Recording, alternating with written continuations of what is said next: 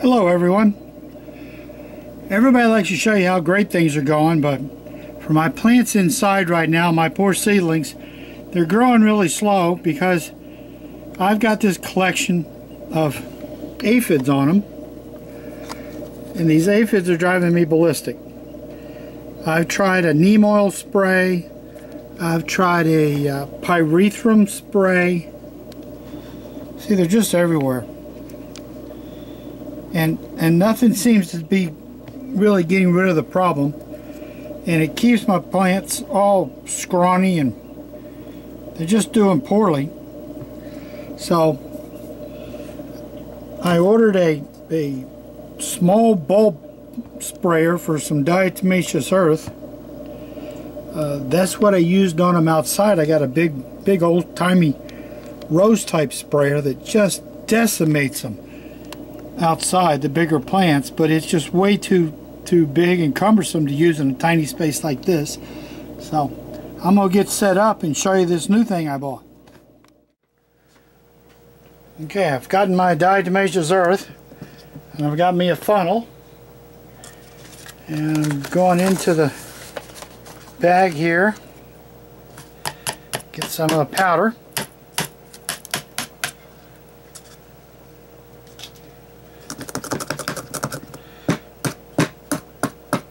shake it down in here.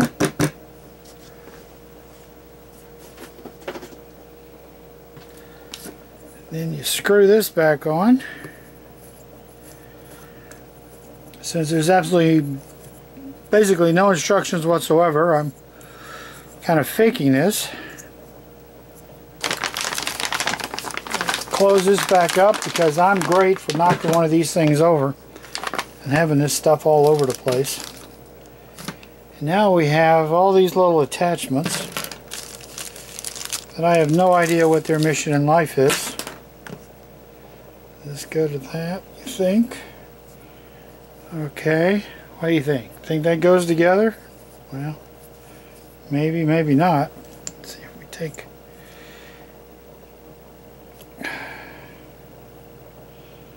Got to guess this comes off, don't you? Of course I got the powder on my hand so I'm pretty slippery.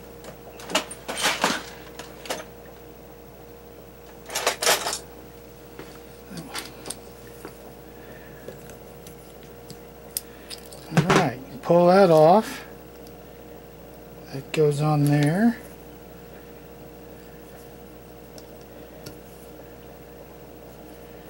I guess and that'll go on there.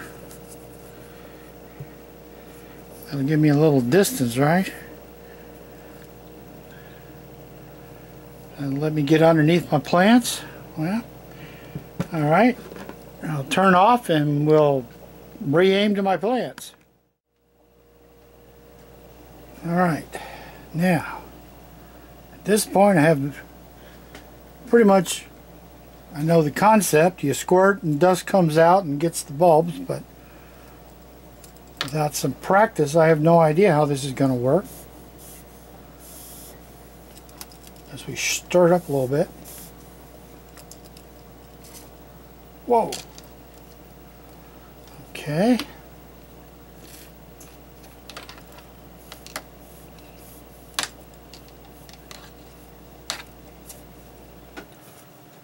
Uh, I'm assuming that with time and practice one might actually get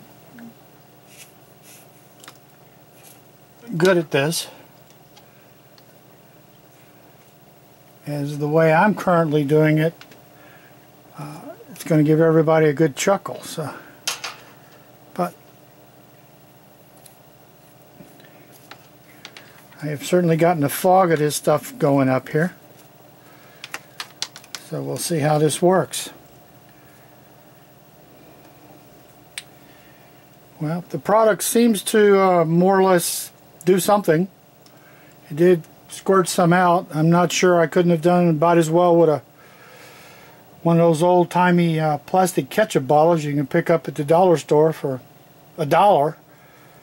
But this certainly, this thing here certainly looks fancy. fancier than the ketchup bottle or the mustard bottle. So we'll see how that works. If it kills the uh, the aphids over there, then I'm a happy camper. So this is the, what exactly was this? This is the B&G Bulb Duster Model 1150. Got a good sized little bulb, you got an extension, you got a little under the plant.